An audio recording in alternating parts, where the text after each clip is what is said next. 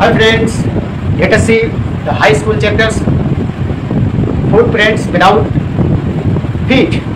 This chapter is related supplementary part and very very most important lesson.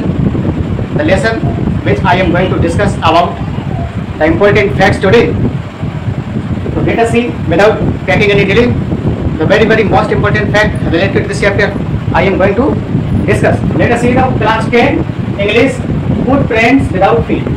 ये supplementary का जो भाग है, उसका ये चैप्टर थ्री है लेसन थ्री है the mid midnight visitor the midnight visitor और जो भी लिखा गया है रॉबर्ट अर्थुर के द्वारा.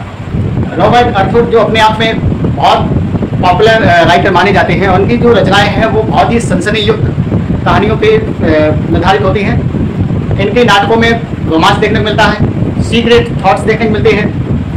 इस प्रकार के जो रोमांचक, जो अति उत्तेजक, जो सनसनी युक्त कहानियाँ देने का क्रेडिट है वो रॉबर्ट अर्थर को जाता है। तो हमारे जो लेखक हैं, वो 1909 में पैदा हुए थे और 1969 ये इनका डेट ऑफ़ डेथ है। तो इन्होंने इस लेसन में बताने का क्या प्रयास किया है? यहाँ देखते हैं the midnight visitor midnight means आधी रात का विजिटर मीन्स भ्रमण करने वाला। आधी रात में भ्रमण करने वाला कौन है?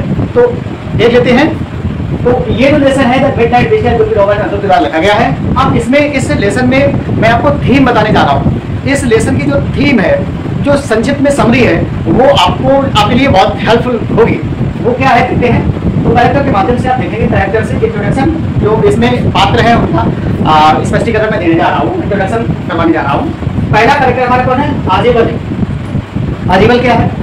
आजीवल कि ये main character of this lesson इस लेसन का जो है एक मुख्य कैरेक्टर है मुख्य पात्र है आप कह सकते हैं।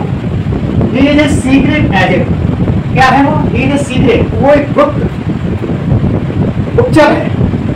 ही इज़ सीक्रेट एजेंट वो एक गुप्तचर है। वो जो दिखने में बहुत ज़्यादा हट्टा कट्टा है। मोटा ताज़ा है कहने का तात्पर्य है हेल्दी है, और लेजी है, बड़ा लेजी है। बहुत उसके शरीर में सुस्ती रहती है, कहने का में पड़ा रहता है। जहाँ बैठ जाए, उठने का मन नहीं करता है। तो कैसा है लेजी है, एंड स्लो। और उसके कार में ज़्यादा एक्शन देखने को नहीं मिलता है। मतलब बहुत ही स्लो है, काम करने बड़ा ढीला है। जहाँ बैठ जाता, बैठ ही जाता है उठता नहीं है। यहाँ देखते हैं बट लेकिन सीक्रेट एजेंट लेकिन एक उसका दूसरा प्रतिद्वंदी गुप्तचर होता है, वो अपने दिमाग का प्रयोग करके, कौन आजीवल जो है, वो अपने दिमाग का प्रयोग करके, भले ही वो मोटा है, भले ही वो बहुत ज़्यादा आलसी है लेजी है, बहुत ज़्यादा स्लो है, कोई मतलब नहीं है, लेकिन अपनी बिटी बिट का प्रयोग बहुत अच्छे तरीके से करना उसको आता है, और इसी क्वालिटी की वजह से वो इस लेसन का मेन पात्र बन चुका है।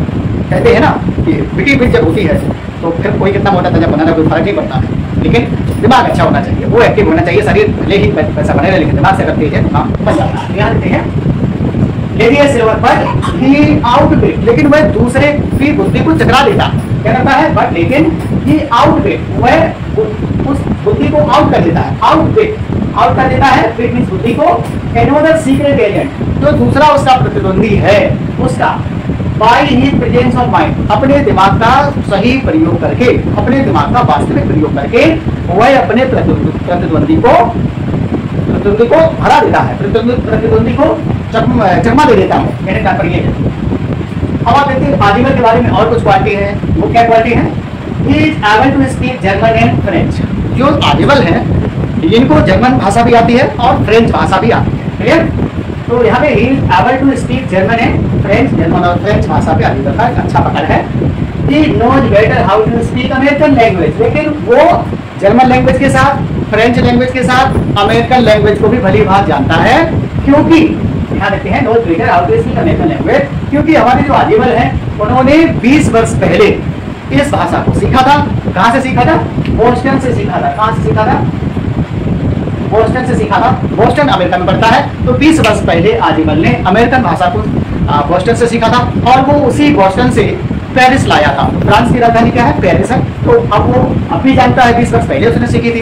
अब भी जानता है उस भाषा को। ठीक है तो आप परीक्षा में आ जाए। कहाँ से उसने सीखा था? तो आप बताएँगे अमेरिका के बॉस्टन नामक स्थान से उसने अमेरिकन भाषा को बोलना सीखा था। लेकिन वो फिर भी जर्मन और फ्रेंच भाषा को बोलना अच्छी तरीके से जानता है। तो ये हमारे आदिवल है, जिनकी क्वालिटी है, ये मेन करेक्टर है। अब आगे देखते हैं, हमारा सेकंड करेक्टर होता है पाउलर पाउलर भी बहुत इंपॉर्टेंट करेक्टर है करेक्टर को यदि आप अपने दिमाग में बैठा लेते हैं तो पूरा लेसन कितना भी बड़ा हो, वो लेसन आपकी मुट्ठी में आ जाता है, आपके दिमाग में आ जाता है। परीक्षा में आप बैठते हैं, सारे एमसीक्यू सारे शॉर्ट आंसर सारे लॉन्ग आंसर मतलब जो भी परीक्षा से रिलेटेड सामग्री, जो परीक्षा से रिलेटेड क्वेश्चन बनते हैं, वो सारे आप एक झटके में उसको कर देते हैं, क्योंकि इस प्रकार से जैसे मैं आपको बता ही रहा हूँ, इस प्रकार से आप जल्दी समझ जाएँगे और परीक्षा में बहुत अच्छा करेंगे। आगे देखते हैं सेकंड करेक्टर है फाउलर फाउलर क्या है? तो आप देखते हैं he great writer of romantic जो फाउलर महोदय है, ये महान लेखक हैं ग्रेट राइटर हैं। ऑफ़ रोमांटिक रोमांटिक का मतलब जो रोमांस से संबंधित अपनी स्टोरी को लिखते हैं। राइटर है, लेखक का काम करते हैं। मिस्ट्री रहस्य, कहानियों के बारे में लिखते हैं। आगे लिखते हैं इंटरेस्टिंग स्टोरी और बहुत रुचकर कहानियाँ लिखने का क्रेडिट हमारे फादर को जाता है। लेकिन हमारे फादर जो है, वो आजीवन पे डिपेंड है, क्योंकि आजीवन जो है, उनकी मदद करता है। वो सनसनी युक्त कहानियाँ लिखने में आजीवन भी है, वो उनका सहयोग करता है। तो टोटली आजीवन जो है, वो बहुत भाषाओं का ज्ञान जैसे फ्रेंच है जर्मन है अमेरिकन है, इनको कई भाषाओं को जानकारी अच्छी प्रकार से जानते हैं। तो हमारे फॉलर है, वो टोटल डिपेंड किसके हैं? आजीवन पे है, कि आजीवन भी उनकी रचनाओं को लिखने में उनकी हेल्प करता है तो यहाँ रखते हैं। तो ये ऐसा बंदा है, जो लिखता है, लिखने का काम करता है आगे लेते हैं। Is looking for some exciting story in the company of आदिबल वही बात आगे जो मैंने भी बताई थी। Is looking for. Looking का मतलब क्या होता है? यहाँ looking for का मतलब होता है तलाशना। तलाशना। खोज करना टू सर्च ठीक है लुकिंग लुकिंग फॉर है। क्या तलाश रहा है? सम एक्साइटिंग स्टोरी कि कुछ कहीं उसको एक्साइटिंग बहुत ज़्यादा जिसमें सनसनी हो, बहुत ज़्यादा उत्तेजना हो, बहुत ज़्यादा सीक्रेट हो, ऐसी स्टोरी उसको कहीं से मिल जाए, ताकि वो उस स्टोरी पे लिख पाए। है ना? लेखन का काम कर पाए। तो वो टोटली किस पे डिपेंड है? आदिवल पे डिपेंड है। Some exciting story in the company of आदिवल company वाला जो उसका साथी कौन है? आदिवल है। जो उसकी, उन सनसनी युक्त कहानियों को लिखने में उसकी हेल्प करता है, उसकी मदद करता है। तो भाई साहब, जो फालर है, वो टोटल किस पे डिपेंड है? इनकी इनकी आपस में खूब बन रही है। ये दोनों करेक्टर आपस में दूसरे में हुए है। ना? लेकिन ये हमारे जो मैक्स है। मैक्स क्या है? ये भी एक राइवल राइवल सीक्रेट एजेंट है।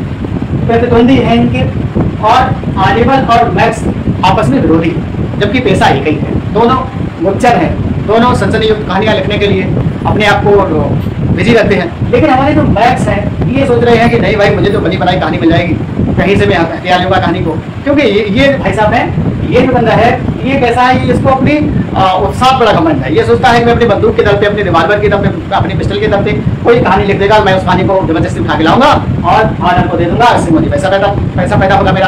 तो ये ये वहाँ से ऐसे हैं। इनके बारे में थोड़ा जान लेते हैं कैसे हैं।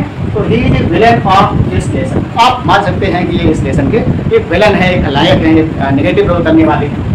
He is rival secret agent of यहाँ देते हैं। He is rival rival means प्रतिद्वंदी कंपटीटिव ठीक है अपोजिट कंट्रास्ट जो भी आप कहना चाहें। तो ये जो राइवल सीक्रेट एजेंट वो भी क्या है? गुप्तचर है।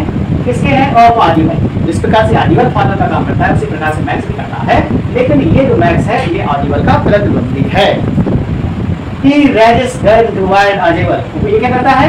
ये इस प्रकार से कहानी लिखी जाती है, पानी लिखने का क्रेडिट आदिवल हो जाता है उसको, क्योंकि उसको बहुत ज़्यादा कई भाषाओं का ज्ञान है। लेकिन हमारे मैक्स हैं, वो आधी रात को एकदम पहुँच जाते हैं रिवाल्वर लेकर के और एकदम से लगा देते हैं कि दे दीजिए हमें जो कहानी लिखी है। तो एकदम से ऐसे होता है। क्या करते हैं? ही रैजेस गन वो गन उठा लेता है टुवार्ड आदिवल आदिवल की ओर गन कर देता है।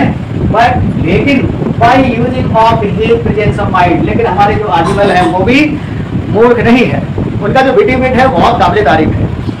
तो क्या होता है? लेकिन वो अपनी बुद्धि का प्रयोग करके he saves his life वो अपनी ज़िंदगी को बचा लेता है। As well as father also और अपने साथ जो फादर होता है भी जीवन वो बचा लेता है। अब मैं कैसे बचा लेता है, बताता बताना चाहता हूँ। एक हमारा अगला है है हेनरी जो हेनरी क्या है? एक बैटर है। एक पियक्कर बैटर है।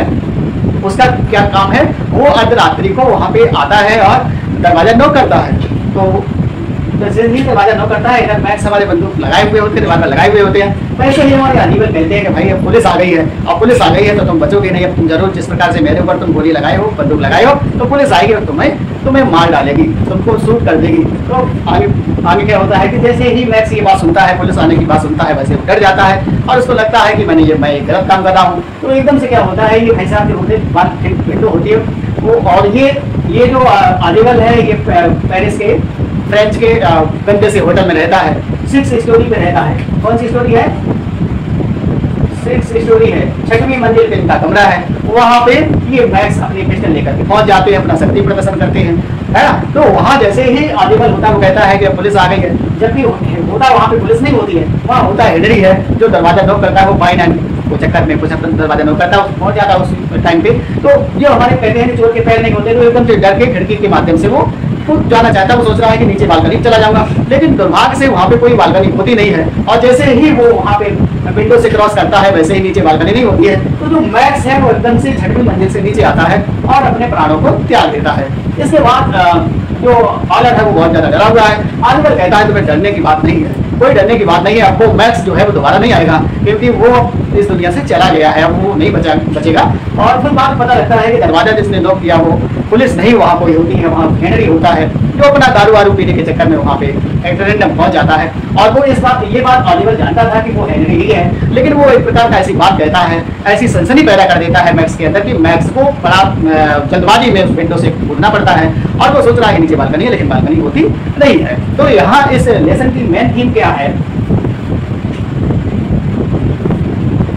मेन थीम क्या है? Wisdom wisdom is more powerful when other demons. अब अगर इसका निचोड़ अगर पूछे तो आप ये लाइन जो मैंने लिखी है wisdom is more powerful than other people ये लाइन यही इस लेसन का निचोड़ है, कुल मिलाकर। क्या कह रहा है कि विजडम जो है बुद्धि है। मोर पावरफुल वो बहुत पावरफुल है, ज़्यादा पावरफुल है। किसके? देन अदर पीपल दूसरे हथियारों की तुलना में जो बुद्धि है, वो उन हथियारों से श्रेष्ठ है। पावरफुल है। तो ये लेसन का निचोड़ है।